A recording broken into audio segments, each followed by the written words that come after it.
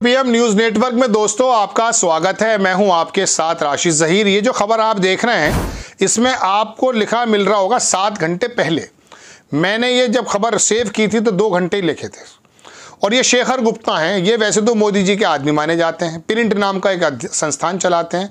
देश के बड़े पत्रकारों में इनकी गिनती होती है। अब देश के बड़े पत्रकार वही बन जाते हैं जो थोड़ा सा गोदी मीडिया के करीब रहते हैं, लेकिन अब हालात जब बिल्कुल अलग नज़र आते हैं तो गोदी मीडिया को भी अपना रुख बदलना पड़ता है। इनका एक कॉलम आया है, दैनिक भास्कर में। दैनिक भास्कर देश का हिंदी का सबसे बड़ा अखबार है, गालिबन।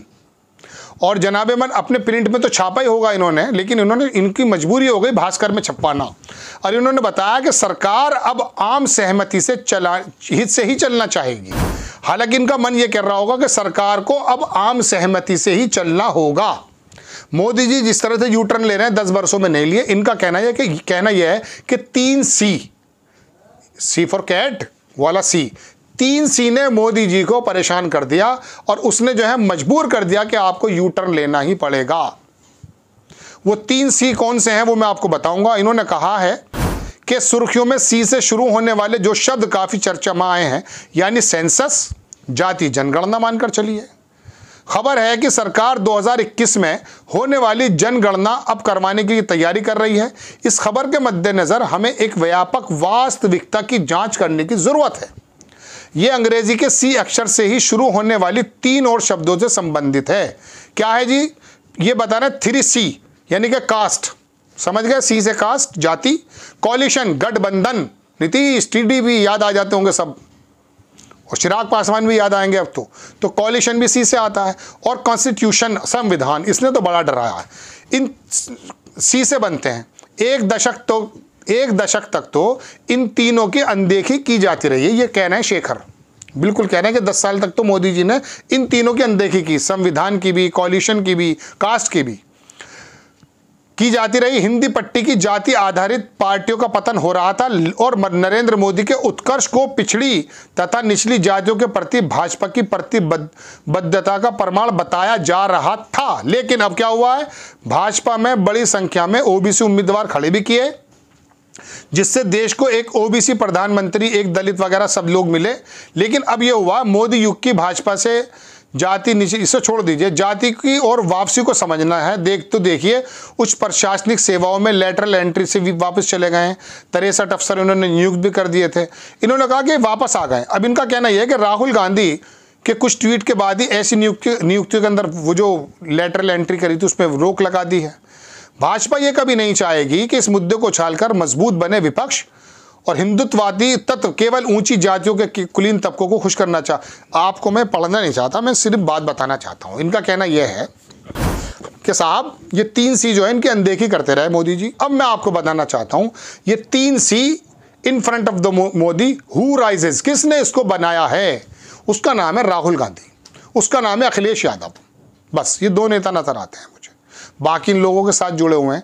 राहुल गांधी ने संविधान की किताब लेकर के जो चले हैं जाति जनगणना को जो लेकर चले हैं, उससे उनको तमाम जो चौहत्तर फ़ीसद तबका है, पिचासी फ़ीसद है वैसे तो वो, उसने ये पता कर लिया कि ये बुनियादी सवाल उठाता है नेता पैदल चलता है, आम लोगों से मिलता है और हमारे हक के सवालत in front of the government ये उठाता है। दूसरी बात, जितना जिसकी हिस्सेदारी, उतनी उसकी भागीदारी ऐसी बात होती है।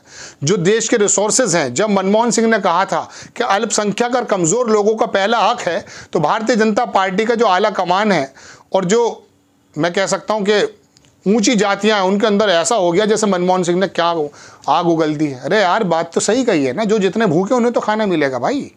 आपको मिले, देश का 40 फ़ीसद रिसोर्सेज एक आदमी को मिल जाए, एक परसेंट को मिल जाए। ये बराबरी की बात है। असमानता है तो बहुत बड़ी दुनिया बता बता रही है। आप दस लाख का सूट पहने, वो वहाँ पर दस हज़ार के लिए फांसी पे लटक जाए किसान, ये क्या तरीका हुआ साहब? आपका अडानी जो है, आपका अडानी कहते हैं ना लोग, मैं क्या कहूँगा, आप लोग कह रहे हैं? तो वो जो है, कोरोना के अंदर दुनिया मर रही है, वो साढ़े तीन सौ परसेंट की तरफ़ से तेज़ी से जा रहा है।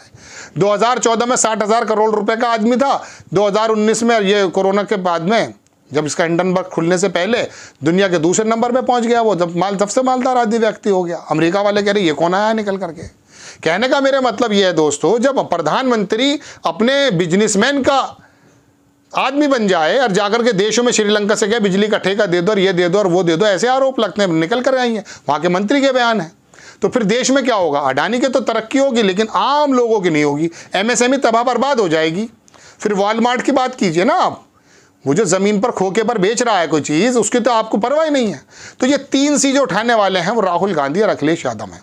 और अब मैंने आपको बताया ये पिछड़ा जातिगत, इसके अंदर राव, इसने जो पीडीए बनाया है अखिलेश यादव ने, ये ऐसा शानदार काम किया है कि ऐसे माहौल में, जब 400 की बात चल रही थी, उत्तर प्रदेश में ऐसा झटका मारा कि गुजरात वाले भी परेशान हो गए कि हम तो सबसे ज़्यादा आपको सोच रहे थे कि आप हमारे ट्रैप में आए हुए हैं।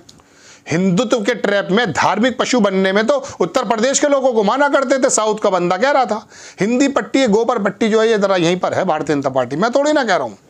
मैं कोई भी बात कह रहा हूँ, अपनी थोड़ी ना कह रहा हूँ। भाई, किसी ना किसी का हवाला दे के कह सकता हूँ। हवाला नहीं दिया तो पूछ लीजिएगा किसने कहा है। मैं तो बस रोचक अंदाज में आपको बताने के लिए हाजिर हो गया कि जनाब मन, ये तीन सी मोदी जी को यू टर्न के लिए मजबूर कर गए शेखर साहब इस बात को कह रहे हैं अच्छा पत्रकार है, लेकिन इस तीन सी को क्रिएट करने वाले ये लोग हैं जो मैंने आपको बताया। राहुल गांधी ने इन तीन सी को पैदा करके मोदी जी की हालत ख़राब कर दी। अब तो मियाँ चिराग पासवान भी परेशान है। वो भी अपना पक्ष बता रहे हैं, हनुमान बताया करते थे। और वो जो अभी है ना, वो जो जिन चवन्नी की बात चल रही, चवन्नी समझा है क्या? मुझे तो पुष्पा का डायलॉग याद आता है। वो जो करता हूँ क्या कह रहा था वो कुछ ऐसा डायलॉग था तो वो अजीत चौधरी के लड़के जो हैं, मैं नाम भूल जाता हूँ बात बात जैन चौधरी तो वो जो कह रहे थे, चवन्नी समझ रखा है। लोगों ने कहा, पाँच पैसे भी नहीं है आप तो चवन्नी को भी नहीं छोड़ा आपको। अरे, आपका कद तो विपक्ष में रह के बड़ा मज़बूत था। अखिलेश यादव बड़ा बराबर कद दिया करते थे और आपके मुताबिक मुता, काम होता था। लेकिन बहरहाल चलिए, वहाँ पे चंपे सोरेन भी बैठे हुए हैं, तुम भी बैठ जाओ अमित शाह के पास। तो दोस्तों, बड़ी खबर देश के बड़े पत्रकार इस बात को कह रहे हैं कि मोदी जी को यूटर्न करना पड़ेगा और तीन सी ने सबसे ज़्यादा परेशान किया। इससे भागे फिर रहे थे, लेकिन अब इनको फेस करना पड़ेगा, चूँकि एक ऐसा विपक्ष का नेता पैदा हो गया, राहुल गांधी, जो इन तीन सी को लेकर चल रहा है। संविधान को यहाँ, दो सी को यहाँ पर। आपको खबर कैसी लगी अपनी राय कमेंट्स बॉक्स में ज़रूर दीजिएगा चैनल को सब्सक्राइब कीजिएगा शेयर कीजिएगा। नेक्स्ट टाइम में किसी खबर के साथ हाजिर होता हूँ। जय हिंद।